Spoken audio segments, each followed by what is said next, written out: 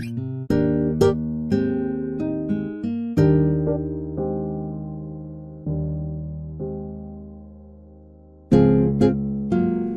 there, I'm Pastor Cliff Gleason, and I want to thank you for tuning in today to our worship service. Here at the Laconia Seventh Adventist Church, we worship Jesus Christ as our Creator, our Lord, our Savior, and our coming King. And we hope that you will enjoy this service with us, that you'll be inspired by the teaching and the music and every part of our service. So sit back and enjoy, and thank you for being with us today. All right. If you want to have a seat here, we have a children's story. Hi. What's your name? Alarm. I'm Doug. Nice to meet you. I'm going to share a story to you and to everybody here. Is that okay? Okay. In my in my hours and hours of preparation for a children's story today, um, I came up with one that kind of is going to go along with my sermon. There is a story. It's told as a fable. Do you know what a fable is? Well, you know how Jesus kind of told stories, and that's how he taught people, and they were parables? Yeah. A fable is kind of like a parable. Um, so this fable is about a little boy who cried wolf. Have you heard it before? No? Okay. Well, once upon a time in this village, they had um, shepherds and they had sheep, and they had to watch the sheep to make sure that wolves didn't come and, and attack the sheep, right? So they, they told this one little boy to stand up on this hill and to keep an eye out for the wolves. Okay? So, and they told him, they said, if you see a wolf coming, we want you to holler out, Wolf, Wolf! And then all the men from the village will come and they'll attack that wolf so that they, he won't get to the sheep. Okay? So the little boy went up on the hill and he thought he would play a trick. He thought he would be funny. So he didn't see a wolf coming. But he yelled out, Wolf, Wolf! And all the men from the village came out looking for this wolf. And he was just standing there laughing. And he thought that was pretty funny. Well, they weren't too happy with him. But they went back to doing their thing, and, and the little boy was standing up there again, and he, he cried out again. He went, Wolf, Wolf! And all the men came running, and once again, they were fooled by this little boy, and because there wasn't a wolf there. They were very getting really angry with him at this point. So, but they went back to the village, back to their business, whatever they were doing, and the little boy did it again. Wolf, wolf, and they all came running, and there was no wolf there. Now they're really angry with him, and now they're they're maybe not trusting him so much, you know. So they went back to doing the thing, and then the little boy was standing there, and then guess what he saw? He saw a wolf, a real wolf coming. So he cried out, Wolf, wolf! And you know what the men did? Oh, he's just trying to trick us again. We're not, we don't believe him. We can't believe him. He fooled us three times already. He's just trying to do it again. And the wolf came and he attacked the sheep. So that's the story of, a, of the little boy who cried wolf. And I tell that story because it kind of goes along with my sermon about being deceived, about people lying. And we never want to lie, right? We, what does God say? God says, don't lie, right? Yeah, so we don't want to do that. We always want to tell the truth, and we always want to be honest with people, right? That's my story, and I'm sticking to it. Okay? Thank you for listening. Thank you for your patience with me. Thank you for all your good help. Yeah, and all your good help collecting the money.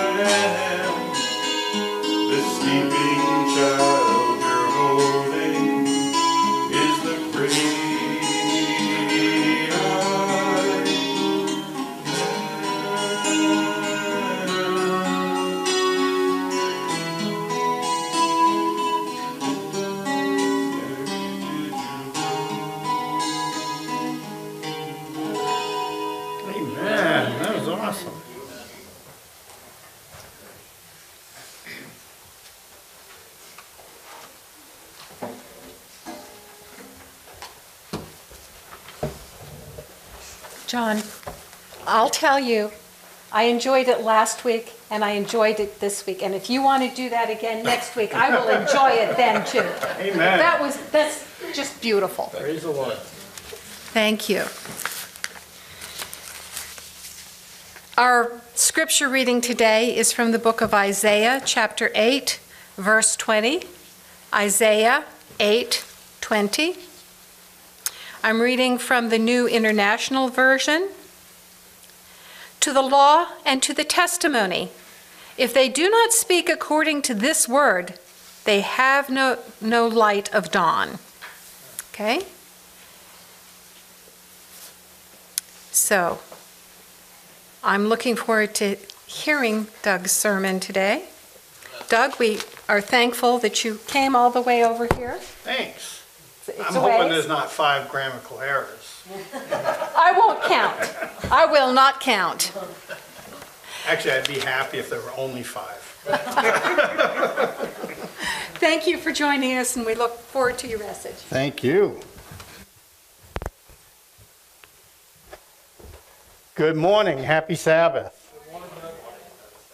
How is everybody today? Whoever ordered the rain, I want to thank you. It's not snow, that's awesome. Sorry, I'm not a fan of snow.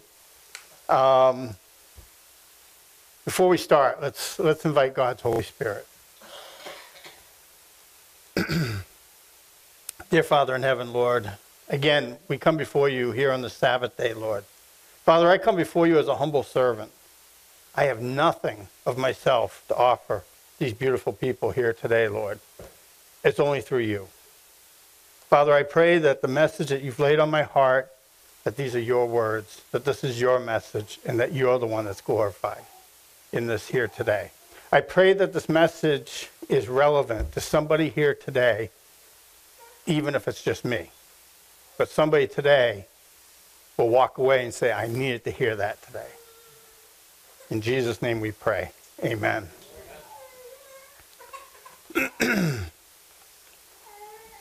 On June 6, 1944, more than 156,000 American and Allied soldiers landed on the beaches of Normandy. The mission was to attack the German forces who had been occupying France and much of Europe during World War II. History teaches us that it was a successful invasion. However, it came with a great cost. There were more than 10,000 casualties. More than 2,700 people lost their lives in this invasion. As successful as, as this invasion was, it could have been a lot worse. You see, one of the key factors to the success of this invasion was another mission that many people aren't aware of. It was a mission called Operation Bodyguard. Operation Bodyguard was a year long mission designed to deceive Hitler and the German forces. They needed Hitler to believe that the attack was going to come from the north and not from the south. So they fed false information to known dual agents, dual spies. They sent out radio transmissions which they knew were being intercepted by the Germans that were full of false information. Because of this mission, Operation Bodyguard, and the deception on the Germans, Hitler actually sent one of his fighting divisions to Scandinavia one week before the D Day invasion. The rest, as they say, is history. But let me ask you a question Does God condone lying? You know, the answer is very clear. The Bible says no thou shalt not bear false witness. However, Acts 17 says that at times of ignorance, God winks at them. I looked up some examples in the Bible where people were giving false witness. David, King David, well, before he was king, in 1 Samuel, pretended to be crazy so the Philistines wouldn't kill him. What about Rahab? Rahab lied to protect the two spies. She's in Hebrews chapter 11. And in the line of Jesus. What about stories from history where people lied to protect children or other innocent people? Was that wrong? You know, one of the most famous stories out of World War II was that of Anne Frank. Most of you, I'm sure, are aware of who Anne Frank was. Anne Frank was a Jewish teenage girl who, with her family, was kept in hiding from the Nazis. So the people who were hiding her were lying to the Nazis to protect her and her family. We know her story because she kept a diary. Again, the Bible says that in times of ignorance, God winks at them. I don't want you to take that as a, as a golden ticket, a golden pass to go ahead and start lying, because that's not what it is. But I think we can agree that in extreme circumstances or in time of war, the element of surprise is key. Could you imagine a commanding officer calls up the, the other army and says, listen, I just want to give you guys a heads up where we're going tomorrow, you know, so you guys will be prepared because I don't want to lie to you about it. I don't think that would be very successful.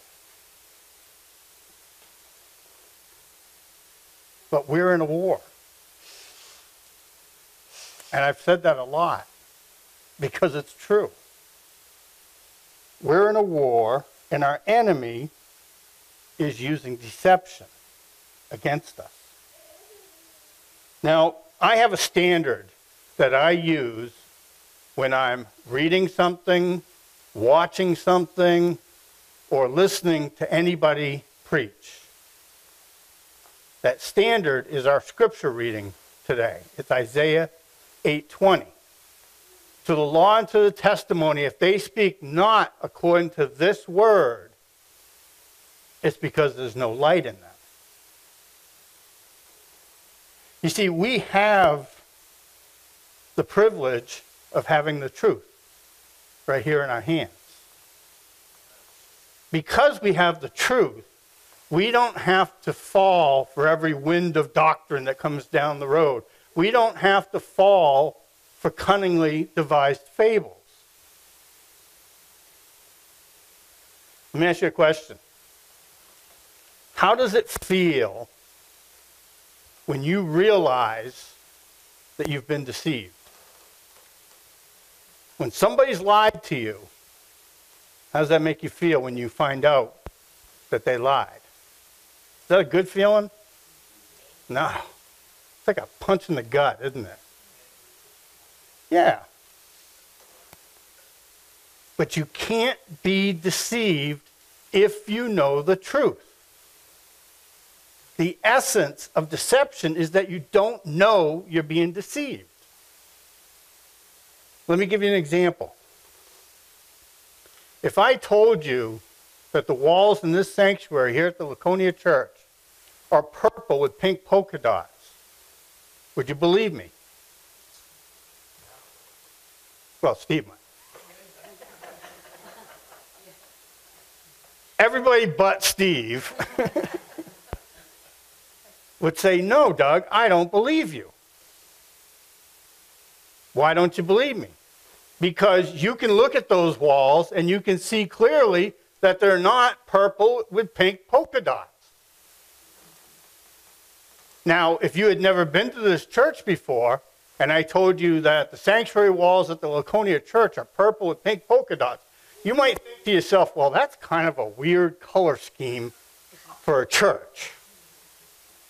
But Doug said it, it must be true, right? Because you don't know, you don't know what the truth is. So you might take me at my word.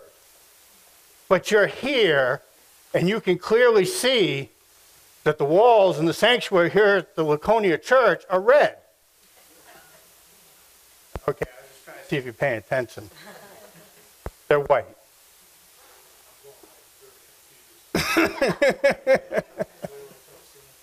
I know, right?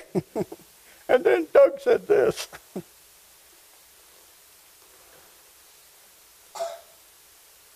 Jesus is the way, the truth, and the light.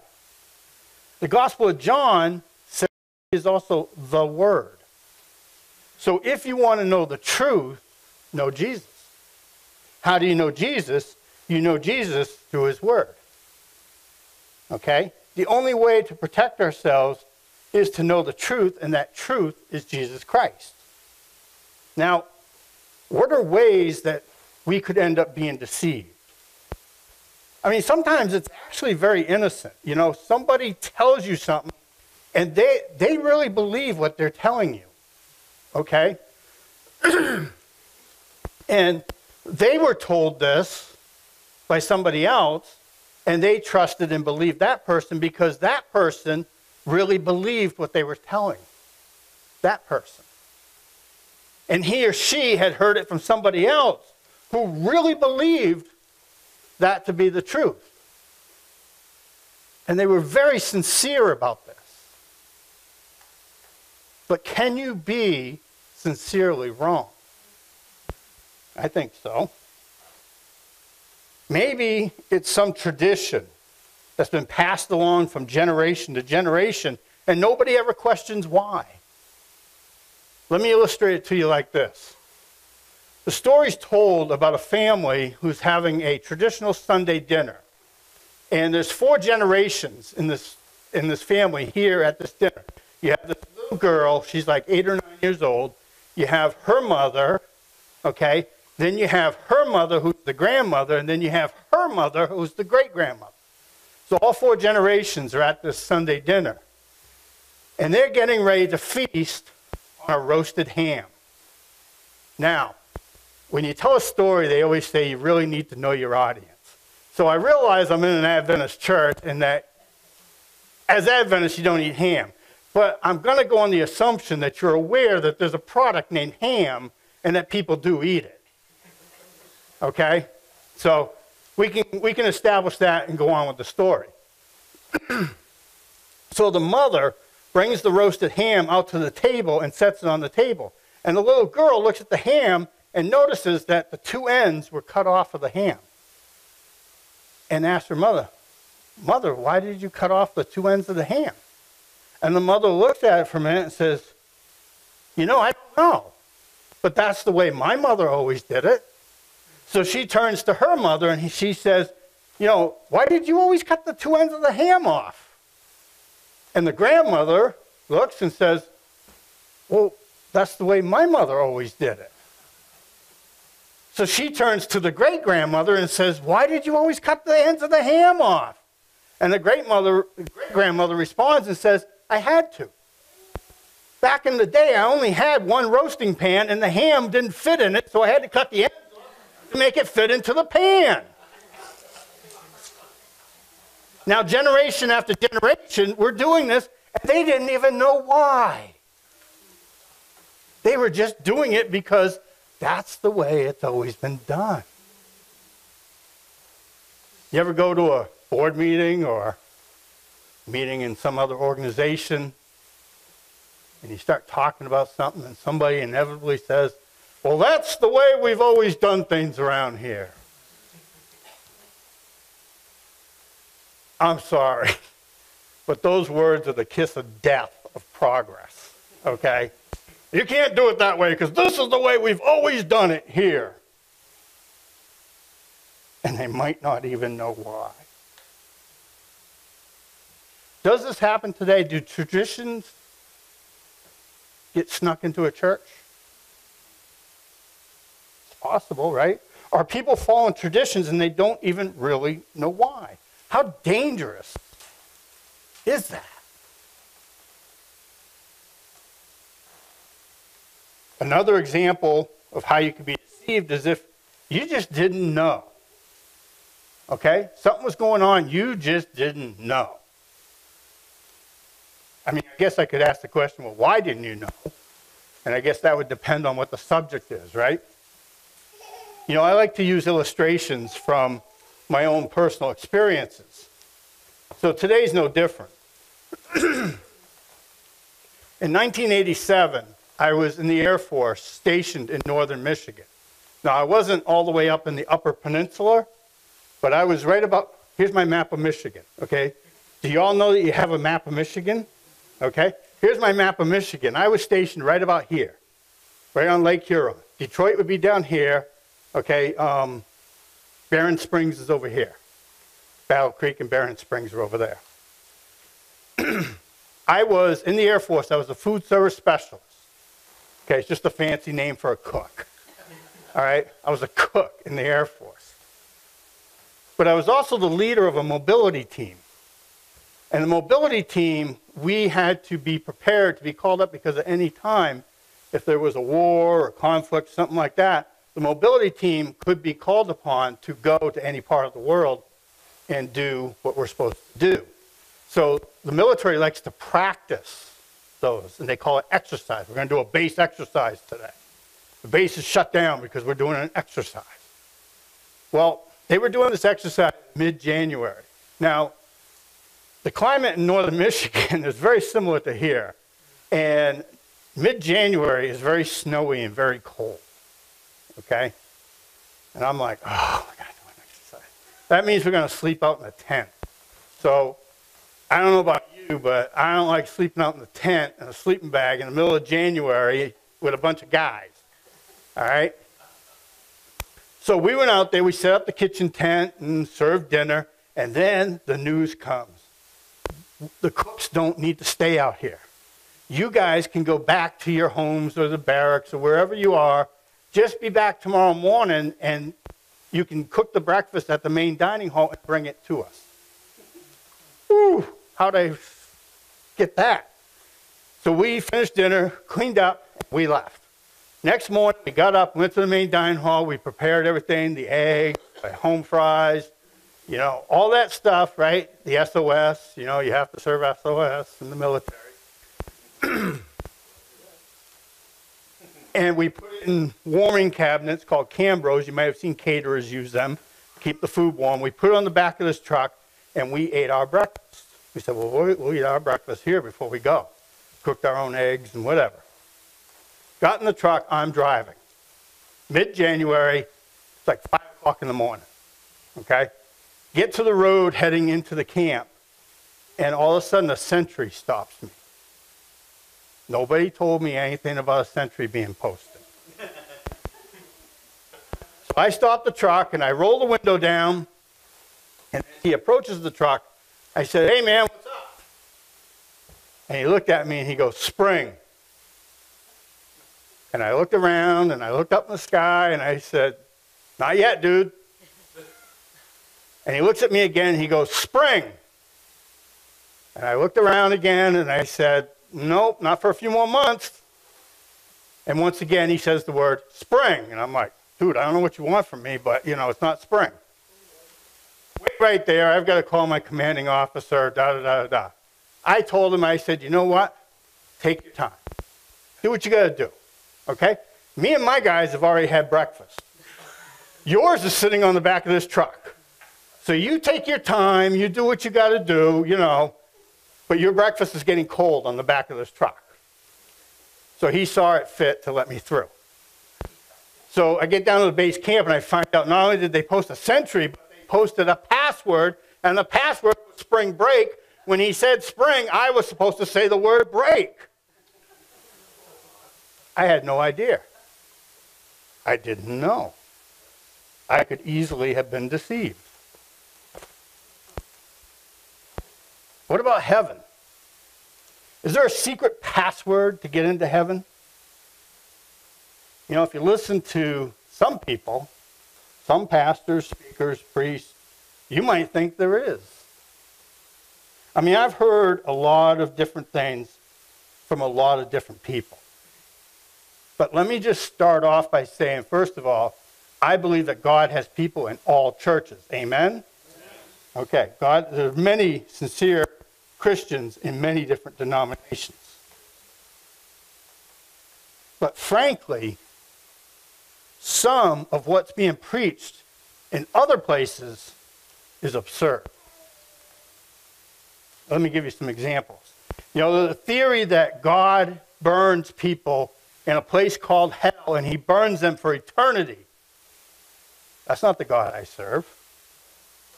The theory that you have to knock on a certain amount of doors in order to earn your salvation. That's not the God I serve. The theory that God has changed or done away with at least part of his holy law. That's not the God I serve. The theory that God's trying to keep people out of heaven. But if you're good enough, you might just be able to sneak in. Not the God I serve. God warns about these kind of theories being preached in churches. He gave a dire warning to the prophet Jeremiah. Jeremiah recorded it, and this is a warning that I take very seriously, and I think most people who preach or teach do take this very seriously. But Jeremiah 23, 1 and 2 says, Woe be unto the pastors that destroy and scatter the sheep of my pasture, saith the Lord.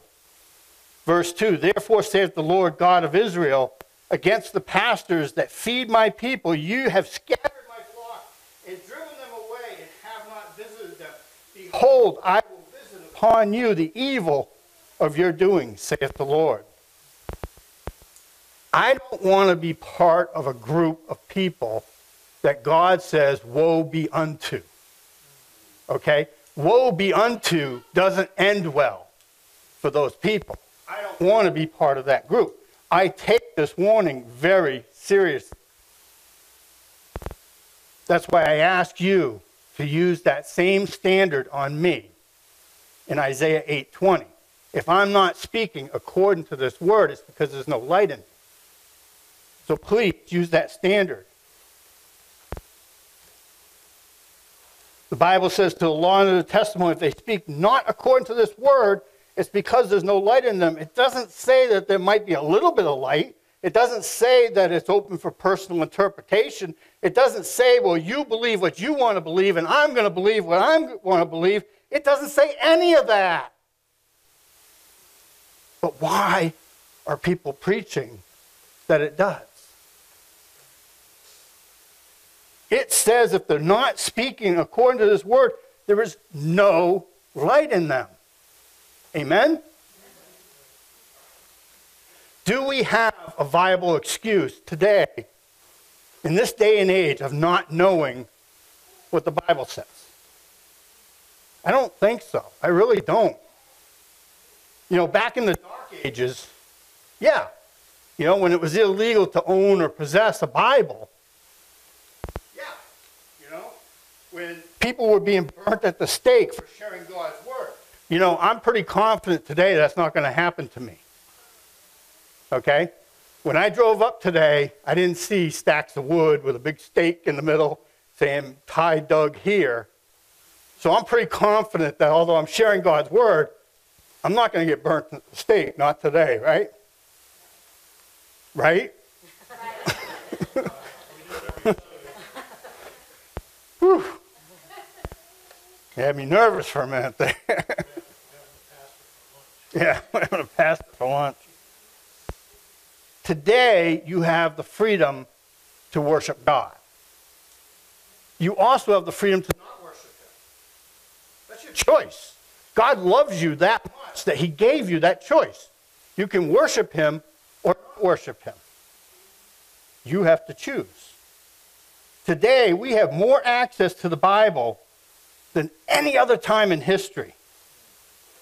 You can purchase a Bible in just about any translation at a very reasonable price. You can go to one of these dollar stores, which now every town has on every other corner, and you can buy a Bible. Any guesses as to how much? A dollar. You know, I've had times in my life when I've really struggled financially, but come on. I think in my worst day, I could spare a dollar to buy a Bible if I wanted one. But it's even less expensive than that. And I don't want to say cheaper, because there's nothing cheap about God's holy word. So I'll say less expensive. What's less expensive than a dollar? Hmm, I don't know. How about free? How can I get a free Bible? Great question. I'm so glad you asked. One way is to show up at a church. You know, I dare say, because you people are so loving, I love this church.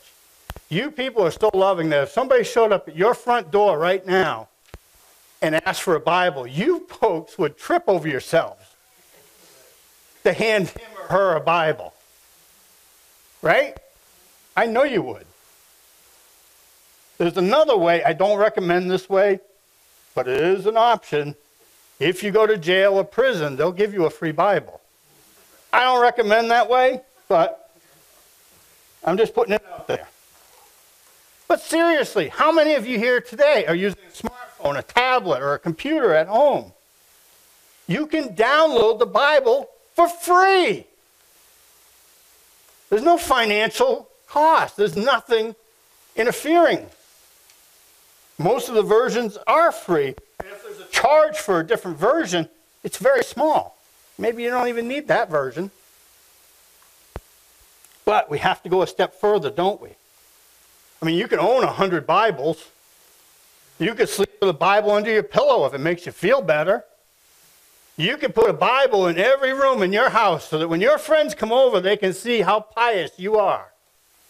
Right? But it's like anything else. You won't get the benefit unless you use it. You won't receive the blessing unless you read and study it for yourself. You know, I own this Bible. I love this Bible. It's a tool. Front and back, I've got I've got Bible study notes. I've got um, sermon notes. You know, uh, I've got passages highlighted in yellow, notes written on the side. It's got one of my favorite scriptures embossed, in, is that the word embossed? On the front. I love this Bible. But it doesn't do me any good unless I read it. Right? If I don't take time to read it and study it, what good is it? You know? And there's different methods to reading and studying the Bible. Unfortunately, I don't have time today to go into all that. That might be another sermon for another time. You know, they always say keep wanting more. That was my little plug.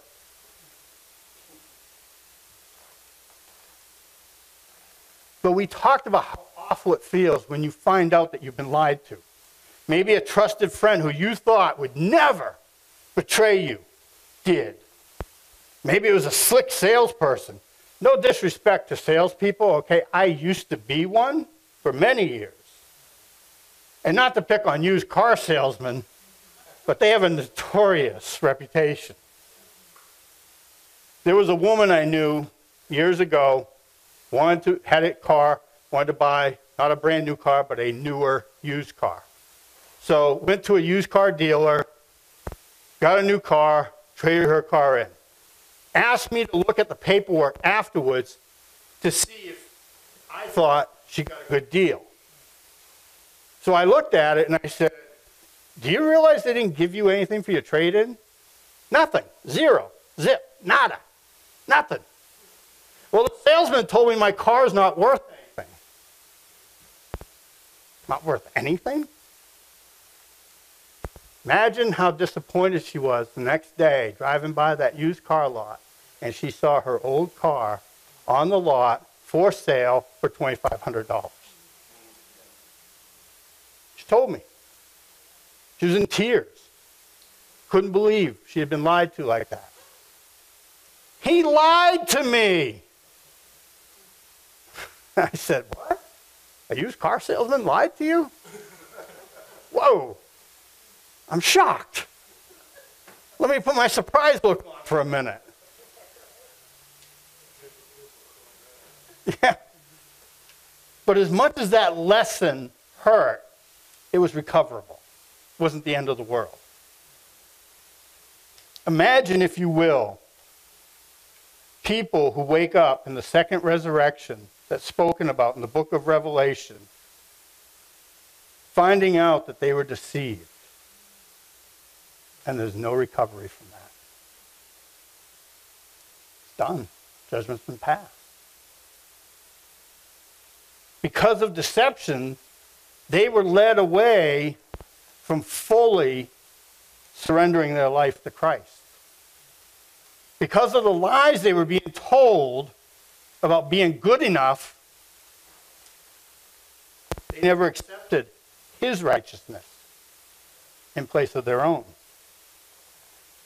There's no recovery. There's no way to recover that. I don't want to be in that group, and I know you don't either. That's why we need to cling to the rock, and that rock is Jesus. In closing, everybody always loves it when the speaker says, in closing, oh, I thought he'd never get to that point. Does he mean it? Yeah. We got another 45 minutes. In closing, it's time for me to ask for appeal. If you've never fully surrendered your heart to Jesus, I'm inviting you to do that today. Maybe you need to renew your commitment to Christ. Maybe you've been having a bit of a prodigal experience and you've walked away. Come back home. Because just like in the story of the prodigal son, you come back home and the father is going to run to meet you and put his robe around you and accept you as his son or daughter. Follow Jesus wherever he leads. Acts 4:12 says that there's no other name under heaven whereby we must be saved. You see, Jesus is not a way to salvation. Jesus is the way to salvation. Come to him just as you are scars, defects, whatever. Don't believe the lie that you have to clean yourself up before you come back to Christ or come to him at all. You know, the disciples asked Jesus about the last days before he returned. And the first thing he said to them was, Be sure that no man deceived you. There's a lot of deception out there. But if you know the truth, if you hang on to the truth, then the enemy can't deceive you. Not that he won't, he can't if you know the truth. Know Jesus, and you'll know the truth. Happy Sabbath. Once again, I want to thank you for coming and worshiping with us through the media, and we're glad that you were able to enjoy this particular service. But we're hoping one day will come when soon you'll be able to come right to our facility. We're here at 241 Province Street in Laconia, and our services are on Saturday mornings at 11 o'clock for the worship service, 9.30 if you want to come earlier for the Bible study. You're always welcome. We'd love to have you come.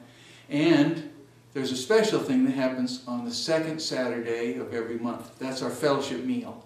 And we'd love to, for, you, for you to be able to be with us and to stay afterwards and enjoy the lunch with us.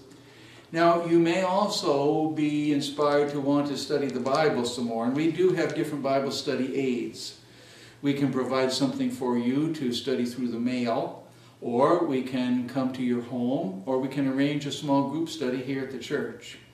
So be in contact with us and we will be able to set up something that will meet your needs as best we can. Thank you again and we look forward to meeting you. God bless you in every way.